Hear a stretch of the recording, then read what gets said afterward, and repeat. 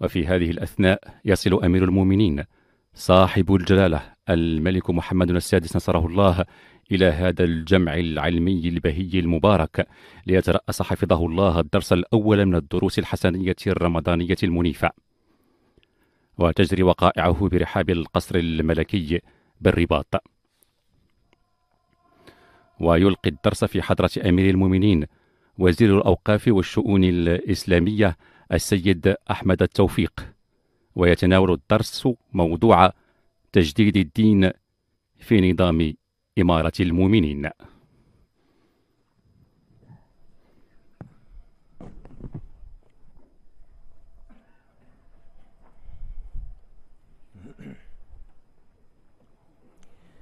بسم الله الرحمن الرحيم. وصلى الله على سيدنا محمد النبي المصطفى الكريم. وعلى آله وأصحابه أجمعين. إن الحمد لله تعالى نحمده ونستعينه ونستغفره ونعوذ بالله من شرور أنفسنا وسيئات أعمالنا. من يهده الله فلا مضل له ومن يضلل فلا هادي له. ونشهد أن لا إله إلا الله وحده لا شريك له. ونشهد أن سيدنا محمدا عبده ورسوله. أما بعد فإن أصدق الحديث كتاب الله تعالى وأحسن الهدي هدي سيدنا محمد صلى الله عليه وسلم وشر الأمور محدثاتها وكل محدثة بدعة وكل بدعة ضلالة وكل ضلالة في النار. ألا وإن من سن في الإسلام سنة حسنة فعمل بها بعده كتب له مثل أجر من عمل بها ولا ينقص من أجورهم شيء.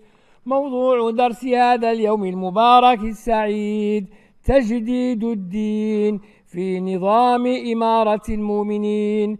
انطلاقا من الحديث الشريف الذي رواه أبو هريرة رضي الله عنه أن رسول الله صلى الله عليه وسلم قال إن الله يبعث لهذه الأمة على رأس كل مئة سنة من يجدد لها دينها.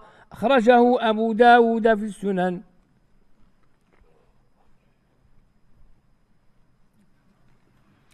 الحمد لله رب العالمين والصلاة والسلام على الرسول الأمين وعلى آله وصحبه الأكرمين. مولاي أمير المؤمنين يشهد الله ويشهد الناس أن إمامتكم قد أدت وتؤدي أمانتها في جميع المجالات وأن هذا الأداء قد أثمر في شأن الدين بمعناه الشامل لوجوه الحياة مواصلة لحماية اختيارات الأمة وتجديدا في بابها بما يناسب المتغيرات.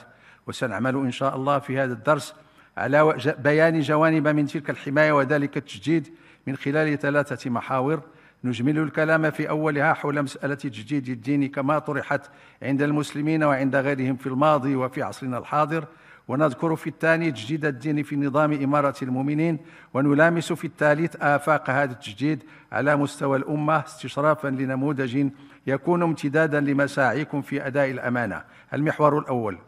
تأصل مصطلح التجديد في الإسلام من هذا الحديث الذي رواه وصححه غير واحد عن أبي هريرة عن الرسول صلى الله عليه وسلم أنه قال إن الله يبعث لهذه الأمة على رأس كل مئة سنة من يجدد لها دينها.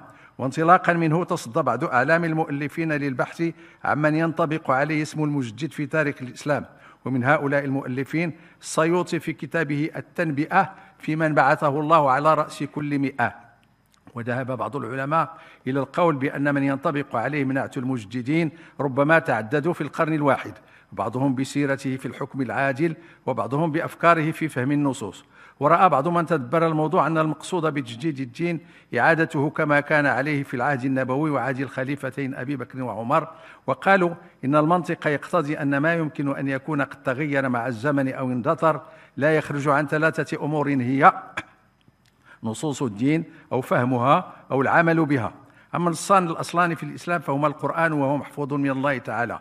والحديث وللمختصين فيه جهود صارمة للتحقيق. أما فهم النصوص فقد تعددت فيه المذاهب لكن جمهور المسلمين من أهل السنة لم يختلفوا في الجوهر ولكنهم صنعوا أدوات للاجتهاد في الفهم. أسفرت عن قيام المذاهب على أساس الاختلاف الجائز في بعض فروع الدين أو التدين. أما في جانب السياسة فإن التجديد فهم على أنه إعادة الحكم على نهج الخلافة الراشدة التي تميزت بإعمال الشورى وبالعدل وبالأمر بالمعروف والنهي عن المنكر. وإذا كان عمر بن عبد العزيز في نهاية القرن الأول للهجرة قد اعتبر مثالا للمجدد بسيرته في الحكم فإن بعض العلماء من أمثال الغزالي قد يعتبر مجددين بأفكارهم المشخصة للحال والمقترحة لسبيل لسبل التغيير. قد واجهت المسلمين من جهة الفكر مفاهيم نشأت في سياق الاعتراض المتطرف كما في حالة بعض فرق الخوارج أو مفاهيم متأصلة في الفلسفة وفي علم الكلام من مثل محاورة الأشعار لمعتزلة أو فضح الغزال لمعتقدات الباطنية. فالانحرافات النظرية كانت على الأغلب ناجمة عن أخطاء في الإدراك بخلفية الاعتراض السياسي بينما كانت الانحرافات العملية الأخلاقية ناشئة عن ضعف الوازع أمام الشهوات أو عن تحكم العادات. أما في العصر الحاضر فأعظم مشكلة واجه المسلمون هي الضعف العام فكرا وسلوكا أمام الغرب وحضارته فمال البعض إلى القول بضرورة التبعية التامة لهذه الحضارة. ورفضها البعض رفضا باتا وقال آخرون بإمكان التكيف معها من أجل التعامل بأقل الأضرار ولقد عرفت الأديان الأخرى قضية التجديد ولا سيما منذ بداية عصر النهضة في أوروبا. وتراوح فيها دعاة التجديد بين الإصلاح والتوراة.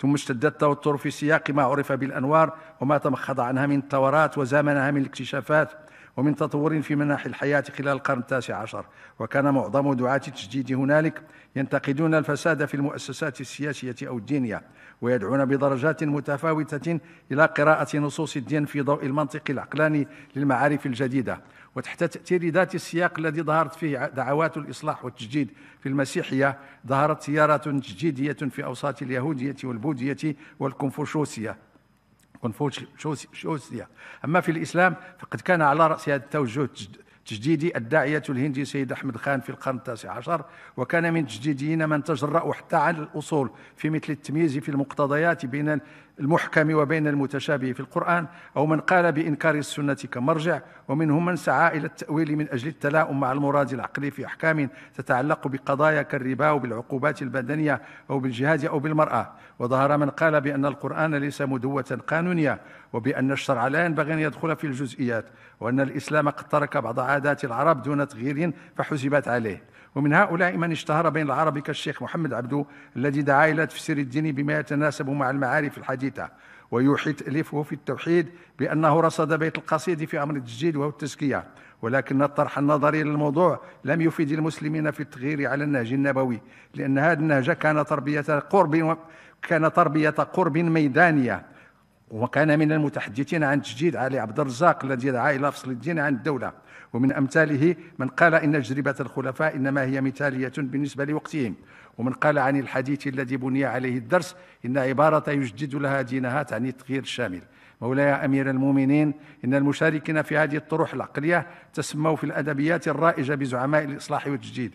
وهم في الحقيقة وقعوا تحت ضغط حيرة جماهير البلدان الإسلامية وهي مغلوبة للغرب عسكريا واقتصاديا منبهرة بثقافته المادية. ولكن لا أحد من هؤلاء المجددين قدم تحليلا عميقا لإشكال العلاقة بين المسلمين وبين هذا الطرف الثاني وهو الغرب.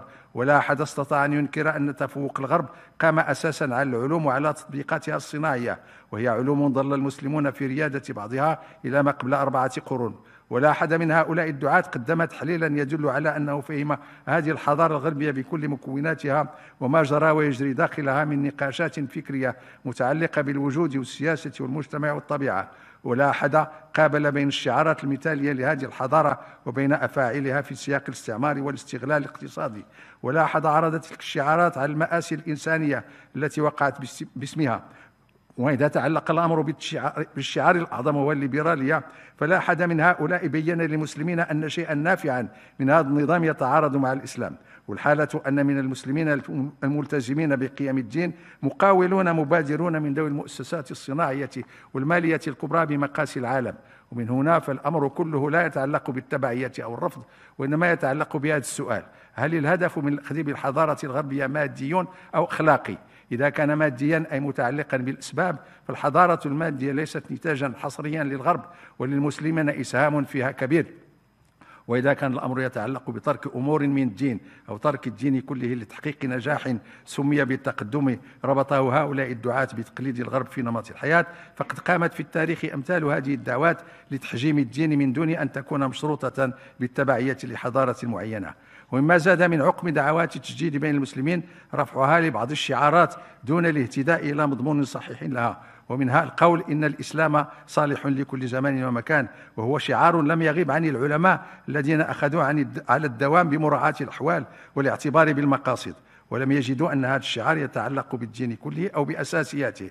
أما الشعار الثاني هو كلام الإمام مالك الذي قال فيه لا يصلح آخر هذه الأمة إلا ما أصلح أولها وهو قول حق ولكن الإشكال فيه هو التشخيص الدقيق للعنصر الكيماوي الذي أحدث الصلاح بالأول. وهكذا فقد يكون لدعاة التجديد داخل الإسلام في العصر الحاضر بعض الأثر ولكن دعوتهم لم تقدم للمسلمين الجواب الذي ما يزال مطلوبا وهو كيف يصلون بالتدين إلى الحياة الطيبة كما جاء الوعد بها في القرآن. نمر إلى المحور الثاني وفيه ننظر كيف طرحت مسألة تجديد الدين في المغرب ماضيا وحاضرا. لقد قامت كل الدول التي تعاقبت على المغرب على برامج إصلاح وتجديد. أما الدولة العلوية فقد قامت على إصلاحات ميدانية.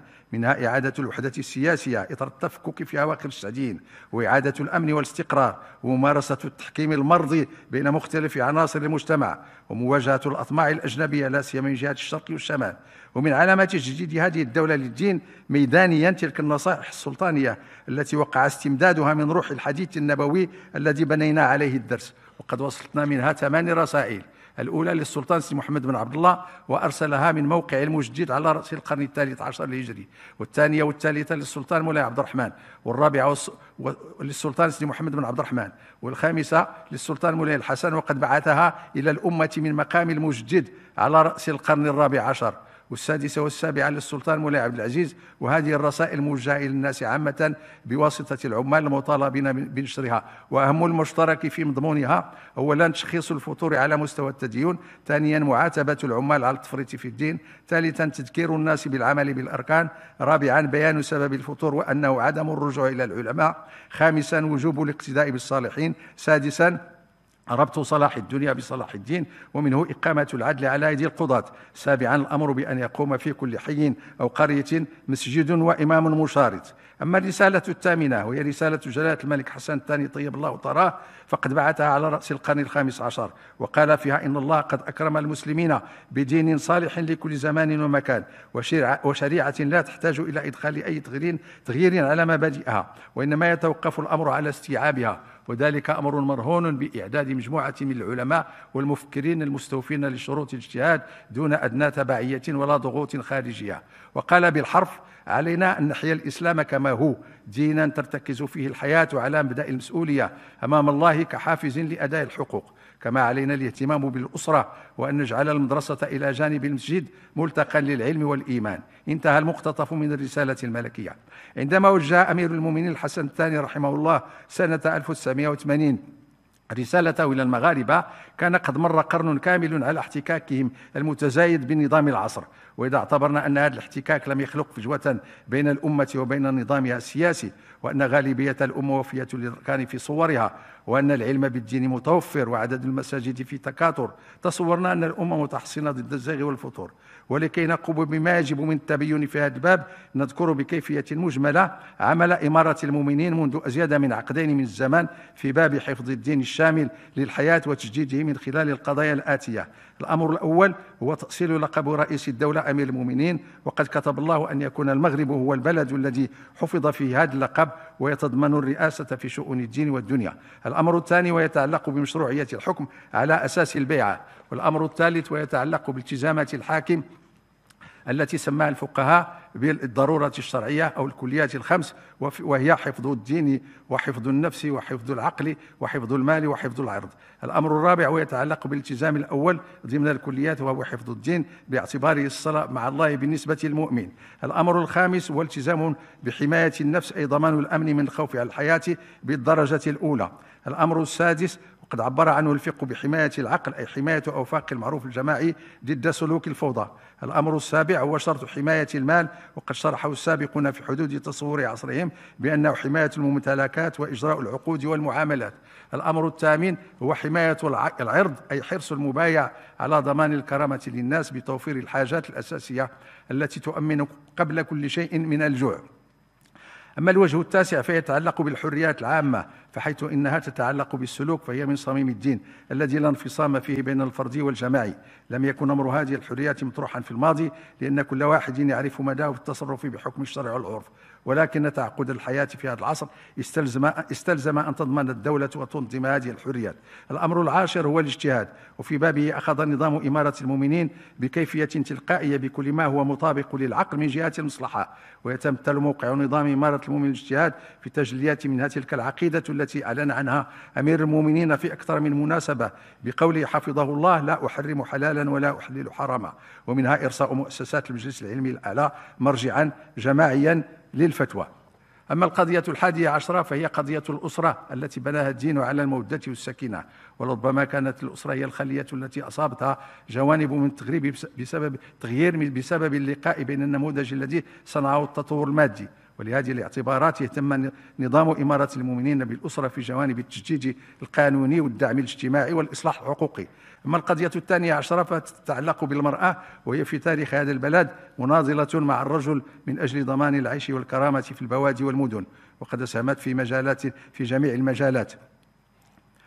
وها هي المرأة في نظام إمارة موين تحقق تعادلا واستحقاقا مضطردا سواء في التعليم أو في مختلف الفرص. أما القضية الثالثة عشرة فهي التعامل مع البناك. ذلك أن بعض المتكلمين في الدين قد أحرجوا ضمير المسلمين بالقول إن الربا هو الفائدة على القرض بأي قدر كانت.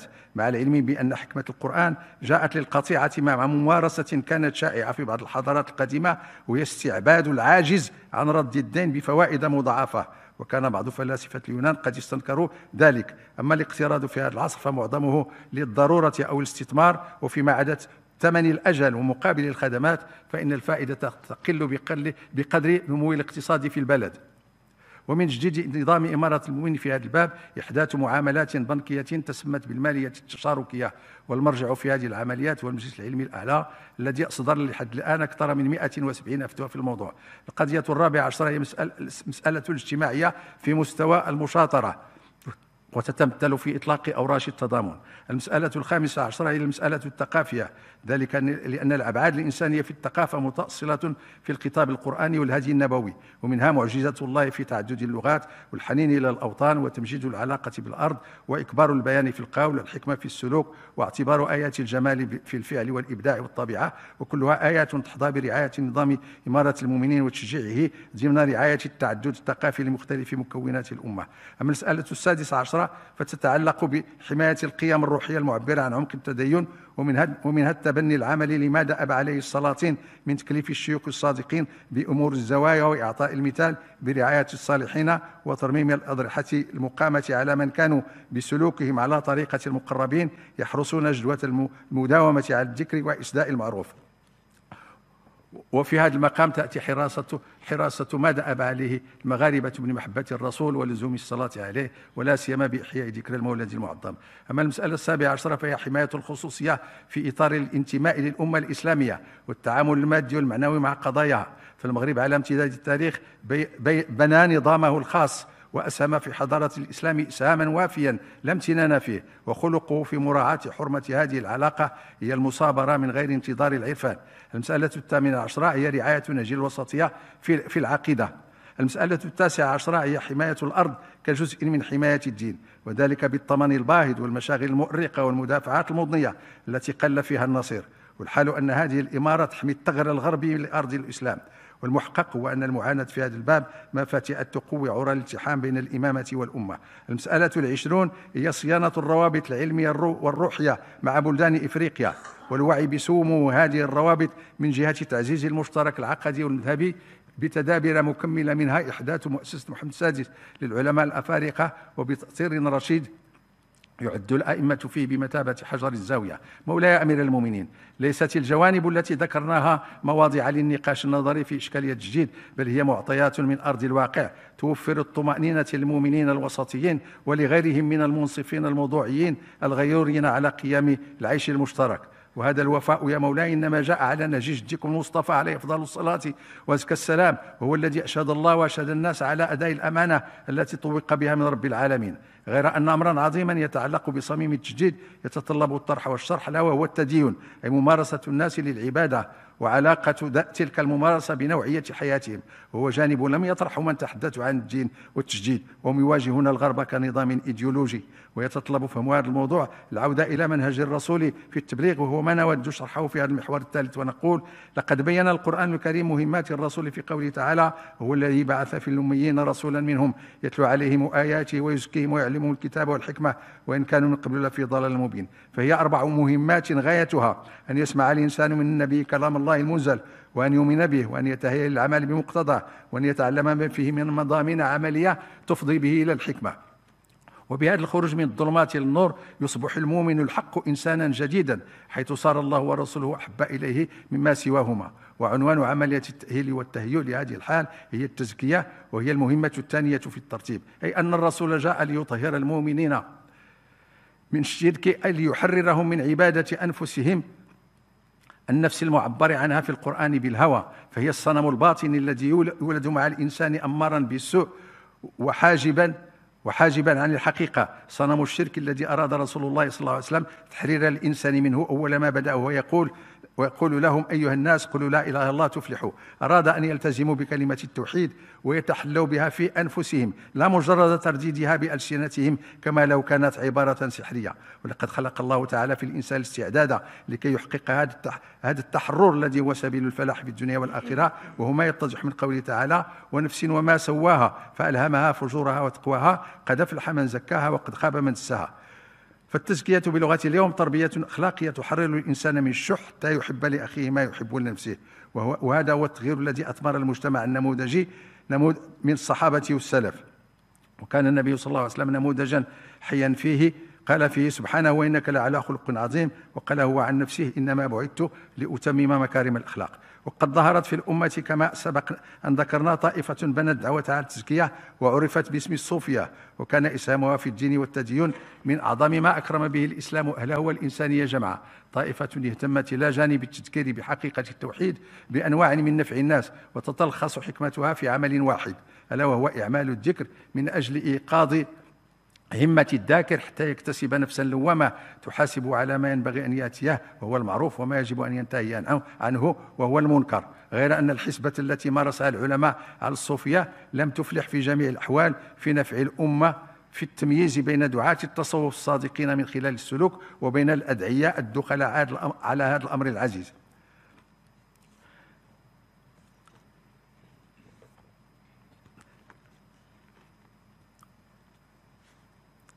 غير أن حالة الأمة تعاني مع كل ما ذكر من وجوه هوة سحيقة من وجود هوة سحيقة بين الحضور الظاهر والاعتبار للدين عند الناس وبين وبين مقدار تأثيره في سلوكهم.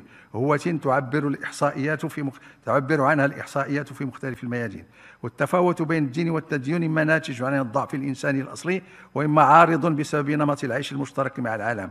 ومن هذا التشخيص يتجلى أن العنصر المطلوب حضوره في معادلة التغيير والتجديد هم العلماء علماء ربانيون متمكنون يكونون نماذجا للناس في التواضع ومحاسبة النفس. إن وعي المؤسسة العلمية بوجودها التفاوت بين كمال الدين والنقص في جودة التدين هو الذي جعلها تقبل على مشروع مجدد عنوانه تسديد التبليغ. مشروع يتوقف على أمرين شرح بعض الحقائق للناس من جهة من جهة وإقناعهم بأولوية بعض السلوكات من جهة أخرى. فمن الحقائق التي ينبغي شرحها للناس أولا أن الأهم في الدين هو التدين أي العمل به. ثانيا أن الإيمان يلزم بتحمل المسؤولية أمام الله إزاء النفس وإزاء المجتمع. ثالثا أن التحلي بالتوحيد هو السبيل إلى الحرية لأن الموحد بضميره وحاله لا لا تستعبده نفسه ولا يستعبده غيره لا خوفا ولا طمعا. رابعا أن العبادات الصحيحة هي التي لها ثمرات في سلوك المتعبد. خامسا أن الله وعد الإنسان بالحياة الطيبة على شرطي الإيمان والعمل الصالح. هذه هي الحقائق الموكول شرحها للعلماء أما السلوكات المطلوبة المطلوبة منهم الدعوة إليها بالإلحاح وبالمتابعة الميدانية فمنها. أولا المداومة على محاسبة النفس. ثانيا اعتبار برهان الإيمان هو الشكر وأن برهان الشكر هو الإنفاق من الكثير ومن القليل. ثالثا أداء حقوق الله من خلال أداء حقوق الغير وأداء حقوق النفس. رابعا اعتبار أن الأولوية في أكل الحرام هي الإخلاص في كل عمل مأجور وفي كل العقود والمعاملات. خامسا اعتبار العمل بالقانون من المعروف والإخلال به من المنكر.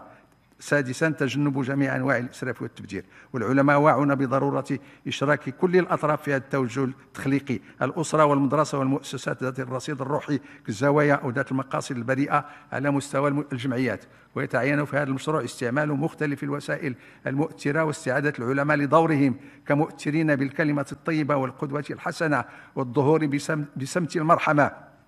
واثقين بوعد الله وهم لا يقنطون. والخلاصة هي أن آفاق هذا التجديد رهينة بنزول العلماء إلى الميدان انطلاقا من المساجد معانين بالأئمة والمرشدين والمرشدات. مع إحياء جماعة المسجد إذا وفرت إذا توفرت الشروط عاملين وفق نهج يستمد هندسته من السنة النبوية الأولى التدين الذي يحرر الإنسان من الأنانية.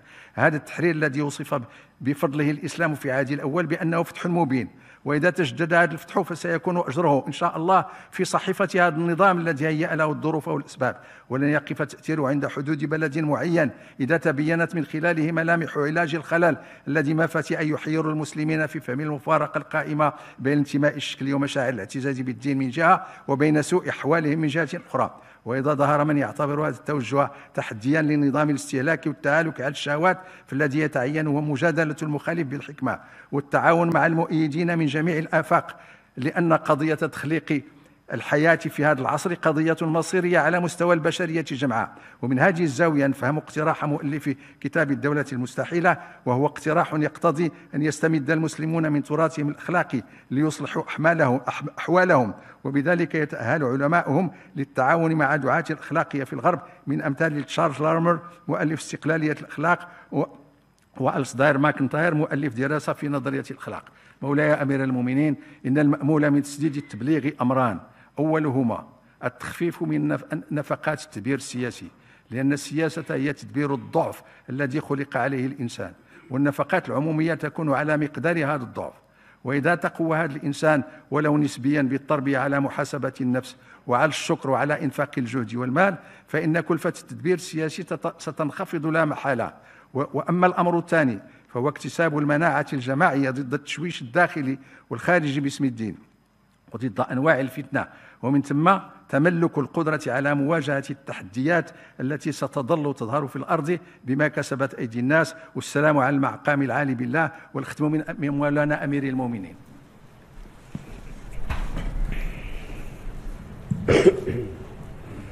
إن الله وملائكته يصلون على النبي. يا أيها الذين آمنوا صلوا عليه وسلموا.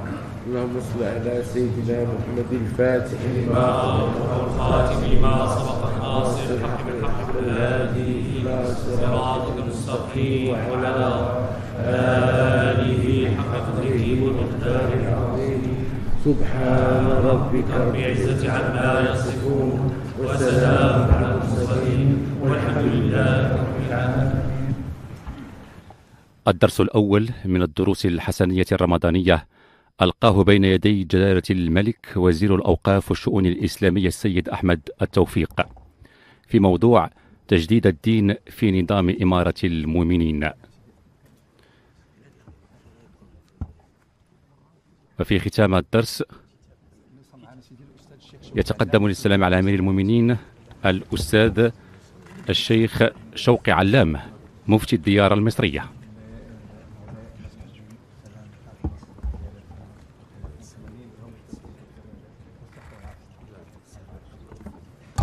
الامارات العربية المتحدة نعم سيدي الأستاذ الشيخ عبد الله الأستاذ الشيخ عبد الله بن الشيخ المحفوظ بن بيه رئيس مجلس الإمارات الإفتاء الشرعي من الإمارات العربية المتحدة.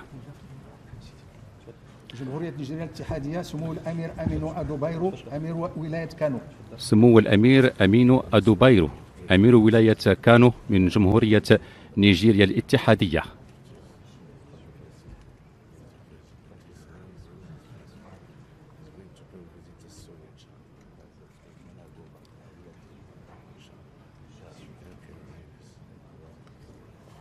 اندونيسيا نعم سيدي الأستاذ جماهري معروف رئيس الجامعة الإسلامية العالمية الأندونيسية. الأستاذ جماهري معروف رئيس الجامعة الإسلامية العالمية الأندونيسية. الأستاذ محمد ماثيو نيبكومبو رئيس فرع مؤسسة محمد السادس للعلماء الأفارقة بجمهورية ناميبيا ورئيس مجلس القضاء الإسلامي بجمهورية ناميبيا. جمهورية النيجر نعم سيدي الأستاذ عبد الله بن الأستاذ عبد الله بن إدريس ميغا رئيس فرع مؤسسة محمد السادس للعلماء الأفارقة بجمهورية النيجر ورئيس جامعة الدار متعددة التخصصات بالجامعة الإسلامية. الأستاذ الشيخ المحفوظ بن عبد الله بن بيه أمين عام منتدى أبو ظبي للسلم من مؤسسه للعلماء الأستاذ الأفارقة بجمهورية محمود. عبد الزبير رئيس فرع مؤسسة محمد السادس للعلماء الأفارقة بجمهورية مالي. ومكلف بمهمات بديوان رئيس الجمهورية.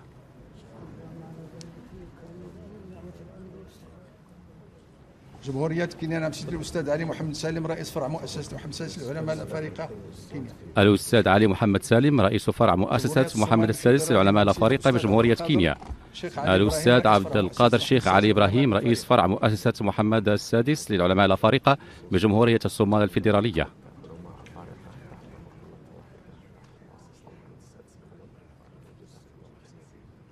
جمهورية رواندا نعم سيدي الأستاذ سليم هيتمانا عضو فرع مؤسسة محمد السادس. الأستاذ سليم هيتيمانا عضو فرع مؤسسة محمد السادس للعلماء الأفارقة بجمهورية رواندا ومفتي الدولة ورئيس المجلس الأعلى للشؤون الإسلامية بجمهورية رواندا. والأستاذ لانجا دولاني فينسنت زيد رئيس فرع مؤسسة محمد السادس للعلماء الأفارقة بجمهورية جنوب إفريقيا. بعد الدرس الحسني الأول يقدم وزير الأوقاف والشؤون الإسلامية إلى مولانا أمير المؤمنين صاحب الجلالة الملك محمد السادس أعزه الله كتابا بعنوان وصايا دينية من ملوك الدولة العلوية إلى الأمة المغربية. ويتعلق الأمر بنسخ لثمان رسائل بعث بها سلاطين الدولة العلوية من عهد سيدي محمد بن عبد الله إلى عهد أمير المؤمنين صاحب الجلالة الملك الحسن الثاني طيب الله ثراه إلى الأمة المغربية في موضوع حفظ الدين وتجديده.